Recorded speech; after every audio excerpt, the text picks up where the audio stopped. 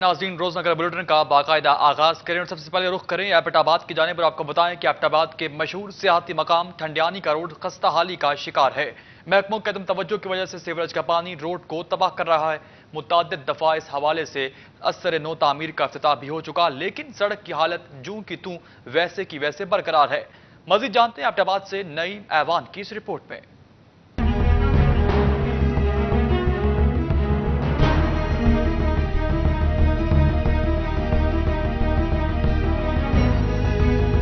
एबोटाबाद के मशहूर सियाती मकाम ठंडियानी का अकलौता रोड टूट फूट का शिकार है।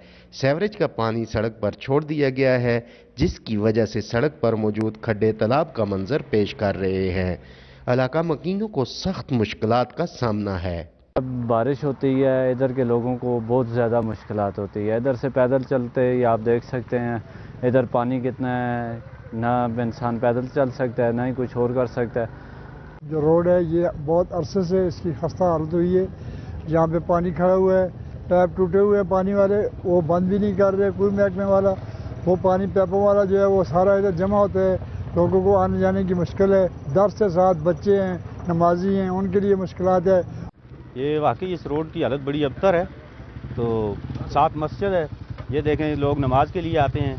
इसके बावजूद इस रोड का यानी कि किसी को कोई ख़ास ध्यान नहीं है। अब थोड़ा बहुत इसका काम इन्होंने शुरू किया है लेकिन फिर भी कोई ख़ास जो है अभी तक पेशरफ नहीं है। इससे पहले मुतद दफ़ा इस सड़क की असर नो तमीर का अफ्ताह हो चुका है लेकिन हाल ही में वजी अला के पी के महमूद खान ने भी इसका अफ्ताह किया था लेकिन ताहाल काम शुरू ना हो सका। इलाका मकीनों का कहना है कि गवर्नमेंट को चाहिए कि वो इसकी हालत को ठीक करे। कैमरामैन तनवीर हुसैन के साथ नई मवान रोज़ न्यूज़ एबाटाबाद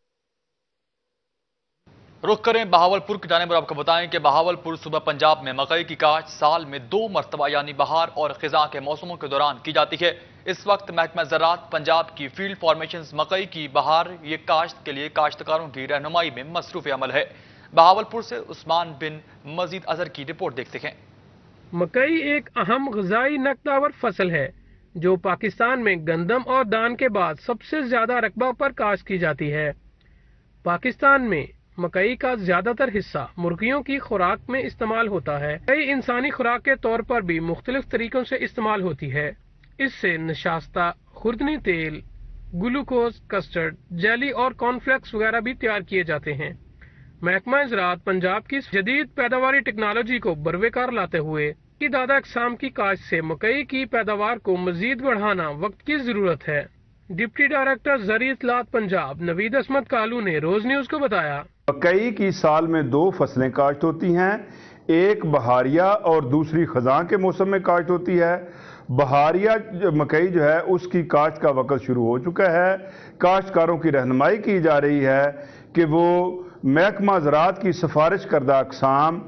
इसके अलावा प्लांटिंग जोमेट्री आबपाशी खादों का मतवाजन और मुतनासब इस्तेमाल, कीड़े और बीमारियों का तदारक और इसके अलावा बाकी जितने भी पैदावारी अवामल हैं, वो महकमाना सफारशात के मुताबिक करें ताकि बेहतर और अच्छी पैदावार का असूल यकीनी बनाया जा सके। मकई की तरक्की दादा, हाइब्रिड इकसाम की तरवीज और बेहतर पैदावारी टेक्नोलॉजी के इस्तेमाल से पंजाब में मकई के जेर का सकबा और पैदावार में खातर ख्वाह इजाफा हुआ है। कैमरा टीम के साथ मोहम्मद उस्मान में नज़र, रोज न्यूज़ बहावलपुर। नाजीन सिंध हुकूमत की जानब से सस्ते आटे का हसूल गरीब आवाम के लिए शदीद मुश्किल का बायस बन गया। घंटों लाइन में खड़ी खातन आटे की गाड़ी में आते में टूट पड़ी। भगदड़ मचने से दो खातन शदीद जख्मी हो गई। मकामी अस्पताल मुंतकिल कर दिया गया। आम इंसान के लिए आटे के हसूल किस कदर मुश्किल हो गया है? इसकी एक मिसाल नवाब शाह के तालुका सरकंड में देखने में आई, जहाँ मकामी फ्लोर मिल के बाहर घंटों लाइन में लगने वाली खातन गाड़ी आते ही झपट पड़ी और भगदड़ मचने से दो खातन शदीद जख्मी हो गई। इस मौका पर उन्होंने रोते हुए बताया कि पहले तो आटे के लिए लाइनों में लगते हैं, अब तो खड़े होने की भी हिम्मत नहीं और इलाज के पैसे भी नहीं है। इस मौका पर मकामी अफराद ने एंबुलेंस पर जख्मी होने वाली खातन को मकामी अस्पताल मुंतकिल कर दिया।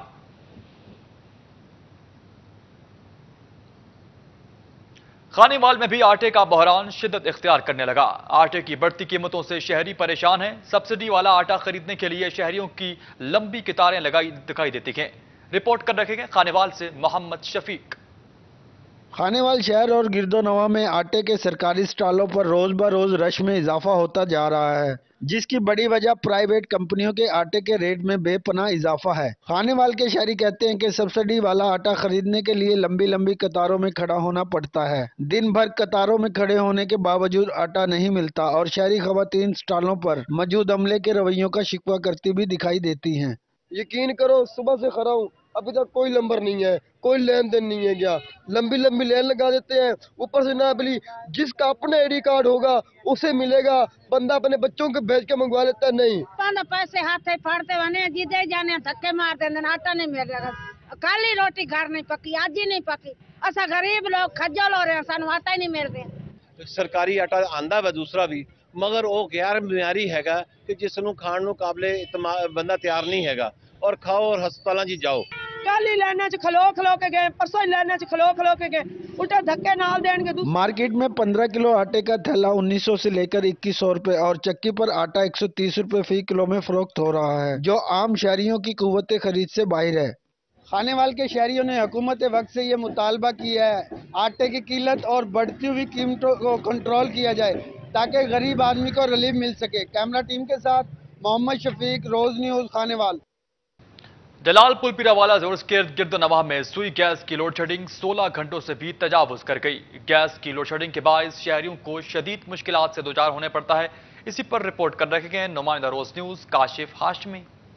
जलालपुर पीरवाला और इसके गिरदोनवा में गैस की लोड शेडिंग ने शहरियों के चूल्हे भी ठंडे कर दिए। कहीं लो प्रेशर तो कहीं गैस चंद घंटों की मेहमान बनकर आती है, जिनमें अमीराबाद, फैज़ाबाद, चक, छियासी एम, मोहल्ला नक्शबंदिया उसामा कॉलोनी और मोहल्ला मुस्तफ़ाबाद समेत दीगर इलाकों में गैस की लोड शेडिंग 16 घंटों से भी तजावज़ कर गई। गैस की लोड शेडिंग से सताए शहरियों का कहना है कि चार बच्चे हैं मेरे जो सुबह स्कूल जाते हैं, किसी को भी नाश्ता नहीं करवा के भेजते।